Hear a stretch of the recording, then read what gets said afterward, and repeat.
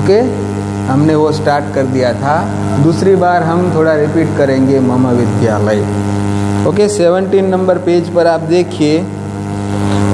शुरुआत कर देते हैं। राजीव कहता है, देखकर पश्य यानी कि सी, देखना। अनिल, ये सब मम विद्यालय। ये मेरी विद्यालय ही, मेरी स्कूल है। मम विद्यालय सुंदर अस्थि। मेरी जो स्कूल है, बहुत ब्यूटीफुल है। अनिल कहता है, सत्यम, सच सच में विद्यालय विशालम अपि अस्ति। सच में तुम्हारी जो स्कूल है विशालम, यानी कि बिग, बड़ी भी है। राजीव कहता है, अहम प्रतिदिनम विद्यालय आगच्छामि। यानी कि आई एम मैं डेली स्कूल में जाता हूँ। अनिल कहता है विद्यालय से आरंभ कदा भवती? तुम्हारी जो स्कूल है, उसका टाइम कौन सा है? कौन से टाइम पर तुम्हारी स्कूल स्टार्ट होती है? तो राजीव कहता है, मम विद्यालय आरंभ एकादश वादने भवती। यानी कि जो मेरी विद्यालय है, वो 11 बजे स्टार्ट होती है। आरंभे वर्ग, आरंभे अहम प्रार्थना खंडम गच्छामि। यानी कि मैं फ़र्स्ट टाइम में प्रार्थना खंड, यानी कि प्रार्थना पेयर हॉल में जाता हूँ। तत्र अहम प्रार्थना करोमि। वहाँ जाकर मैं प्रार्थना करता हूँ। अनिल कहता है, भवत वर्गखंड कुत्र असति। तुम्हारा वर्गखंड कहाँ पे है? यहाँ तक हमने जाना था, पढ़ा था और समझा था। हम अब पेज नंबर 18 पर पहुँचे हैं। वहाँ से हम शुरुआत करेंगे। राजीव कहता है, राजीव कहता है, मम वर्गखंड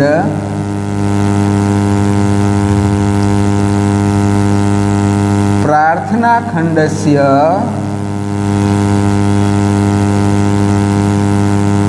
समीपे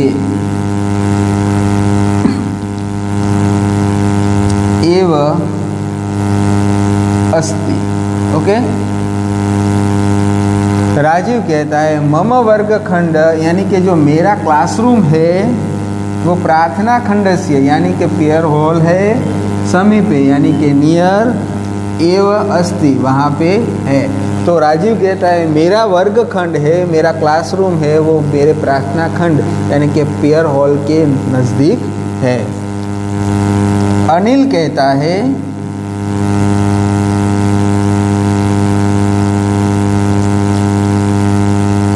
भवतः वर्गशिक्षक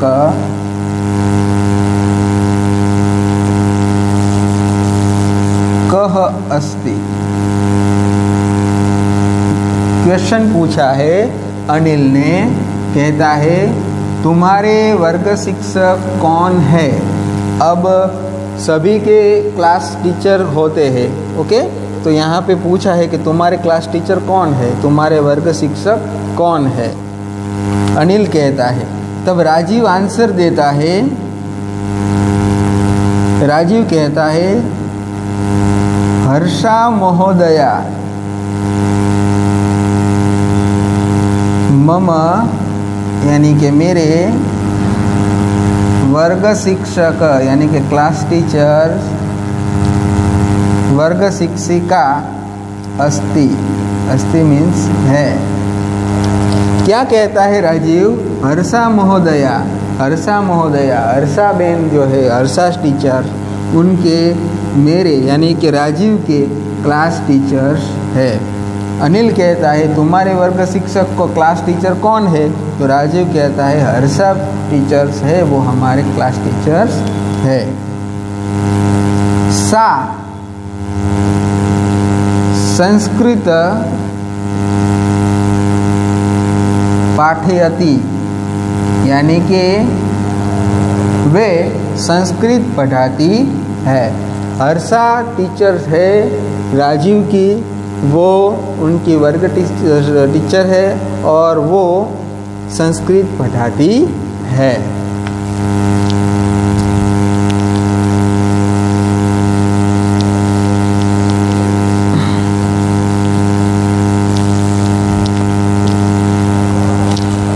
अनिल अब आता है।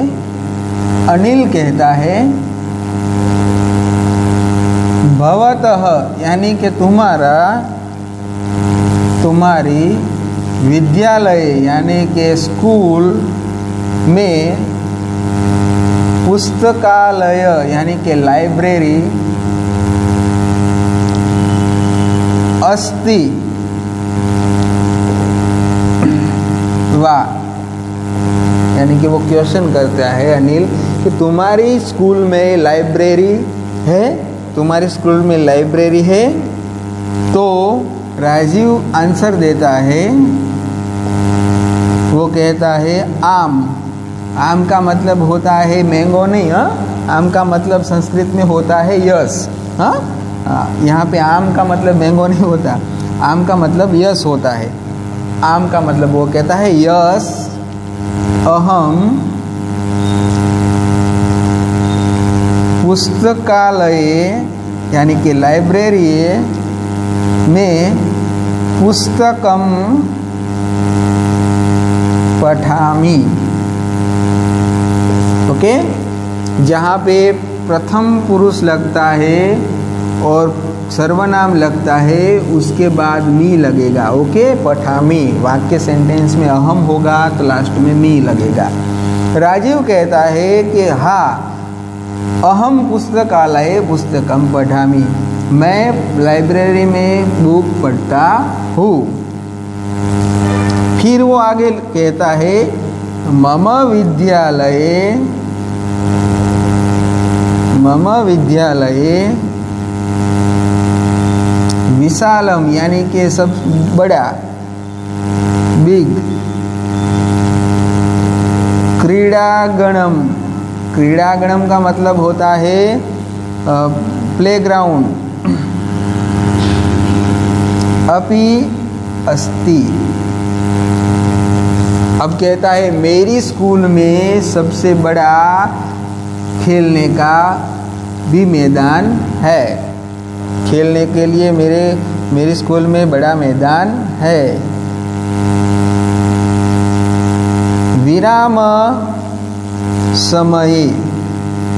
ये विराम समय का मतलब होता है रिसेस आपकी रिसेस होती है, आप स्कूल में पढ़ने के लिए जाते हैं तो रिसेस होती है। उस रिसेस में आपको दस मिनट के या पंद्रह मिनट में ब्रेकफास्ट के लिए होते हैं। फिर वो पंद्रह बीस मिनट की जो रिसेस होती है, इसमें आपको विराम समय, संस्कृत में विराम समय कहते हैं रिसेस को तो उस टाइम पर अहम तत्रम खेलामी। यानी कि रिसेस में हम उस ग्राउंड में खेलने के लिए जाते हैं। तो विराम समय हम तत्र खेलामी। यानी कि रिसेस में हम खेलते हैं। राजीव वो आंसर देता है अनिल को।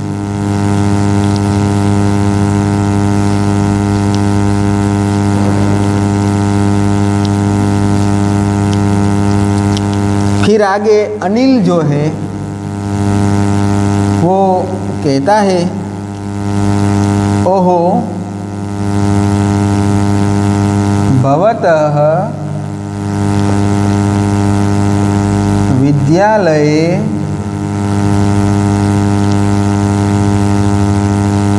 रमणीयम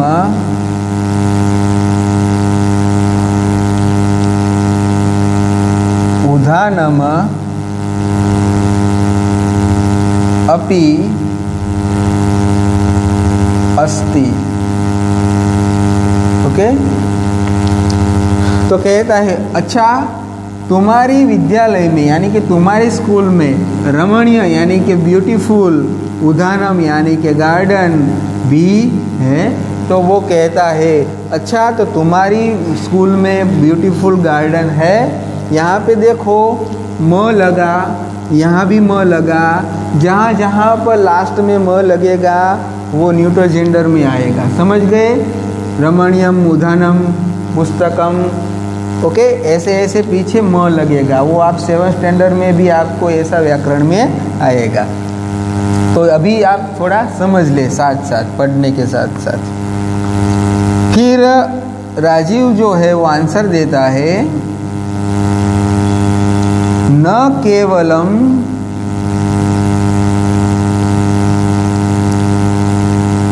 उधानम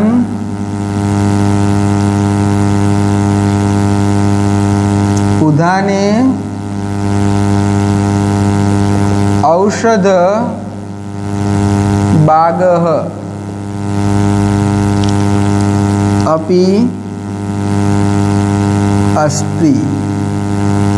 यहाँ पे राजीव आंसर अब देता है। स्कूल राजीव की है, अनिल उसका फ्रेंड है, वो आया है, वो सब क्वेश्चन करता है, राजीव आंसर देता है कि न केवलम उदानम यानी कि मेरी स्कूल में सिर्फ़ ब्यूटीफुल गार्डन ही नहीं है। उस गार्डन में, यानी कि उधाने गार्डन में औषध बाग अपि अस्ति, यानी कि आयुर्वेद का भी पौधे वहाँ पे है, यानी कि आयुर्वेद के जो पौधे होते हैं, लगाए हुए, वो भी औषध बाग भी हमारे स्कूल में है।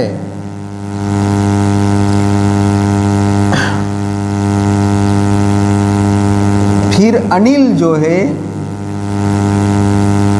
वो कहता है, भवतः रोपितः वृक्षः अपि अस्ति वा? तुम्हारे यहाँ पे अनिल कहता है, भवतः रोपित वृक्ष अपि अस्ति वा?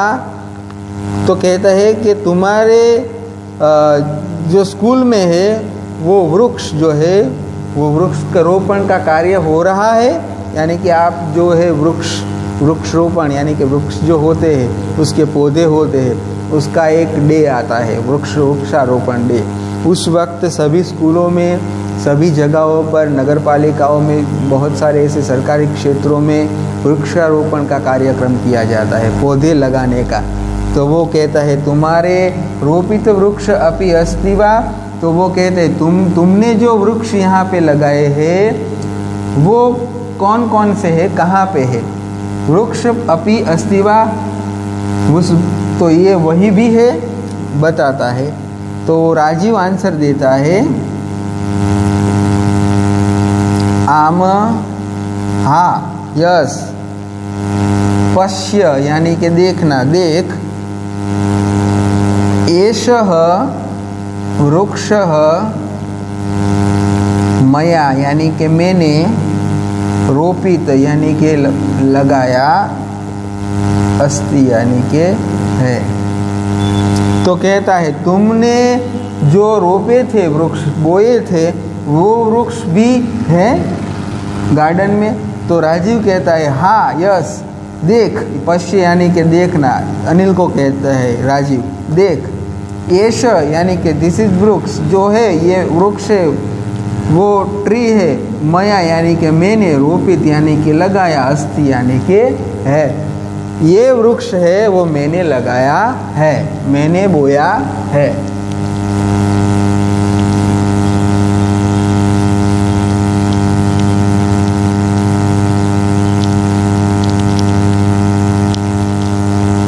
फिर अनिल जो है, वो कहता है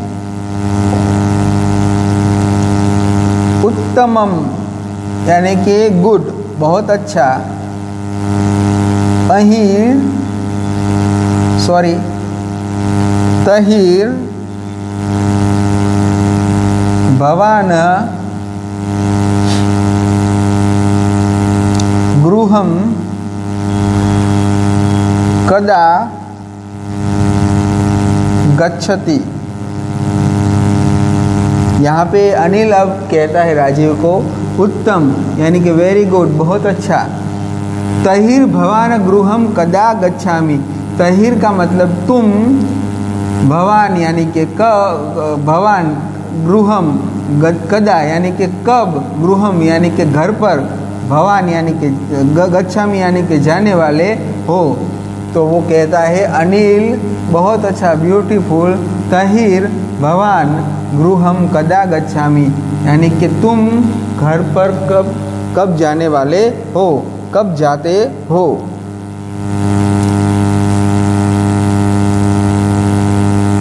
राजीव। अब अनिल लास्ट में कहता है, बहुत अच्छा ब्यूटीफुल है। तुम्हारे घर पर जाने का टाइम कौन सा है? कब तुम जाते हो? तो राजीव आंसर देता है, अहम सायं पच्चवादने हमने सेम वन में वादने सीखा था। एक वादनम द्विवादनम, त्रिवादनम, चतुर्वादनम, पंचवादनम, षष्ठवादनम, सप्तवादनम, अष्टवादनम, नववादनम दस वादनम एकादश वादनम और द्वादश वादनम तो यहाँ पे पच्चवादनम यानी कि पाँच बजे ब्रूहम, यानी कि मेरे हाउस पर गच्छामी, यानी कि गोइंग में जाता हूँ। तो वो कहता है, राजीव, कि मैं पाँच बजे अपने घर जाता हूँ। अब लास्ट में लाइन है, अनिल कहता है, भवत, यानी कि तुम्हारी विद्यालय, यानी कि स्कूल, ननु, यानी कि बहुत सुंदर, यानी कि ब्यूटीफुल अस्थि यानी के है ओके तो अब लास्ट में अनिल ने पूरी उनकी स्कूल देख ली है। स्कूल में राजीव से अलग अलग क्वेश्चन किए हैं कि तुम स्कूल में कब जाते हो? एकादश वादने। फिर स्कूल में तुम्हारा पेयर हॉल कौन सा है? कहाँ पे है? तो वो राजीव बताता है।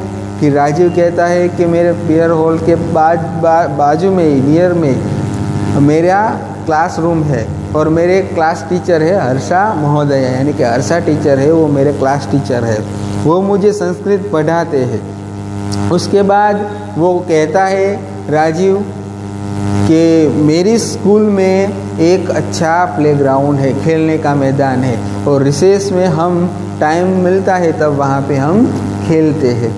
उसके बाद अनिल क्वेश्चन करता है और राजीव आंसर देता है कि हमारे स्कूल में लाइब्रेरी भी है, वहाँ जाकर मैं बुक पढ़ता भी हूँ। फिर वो क्वेश्चन करता है गार्डन का तो राजीव आंसर देता है कि मेरे स्कूल में बहुत अच्छा ब्यूटीफुल गार्डन है। उसके अलावा एक औषध बाग भी है, यानी कि बहुत अच्छा आयुर्वेदिक का पौधे लगाए हुए हैं। तो अनिल कहता है कि तुमने लगाए हुए पौधे कौन से हैं? तो राजीव बताता है कि वो देख, ये मैंने पौधे लगाए हैं। ये लगाया हुआ पौधा मेरा है। उसके बाद यहाँ पे अनिल जो कहता है कि तुम घर पर कब जाते हो? तब वो आंसर देता है राजू कि मैं पाँच बजे घर पर जाता हूँ। अब लास्ट में अनिल कहता है अच्छा तुम्हारी स्कूल बहुत ब्यूटीफुल है। तो ये मम विद्यालय माई स्कूल के बारे में ये हमारा लेसन था। यहाँ पे हम पूरा करते हैं ओके आपको ये पेज नंबर 19 वाला है।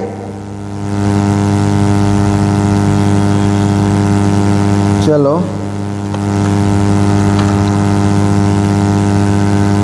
वो आप सी डब्ल्यू में लिख लेना हाँ। क्वेश्चन टू और क्वेश्चन फोर चलो, किसी को कोई क्वेश्चन है?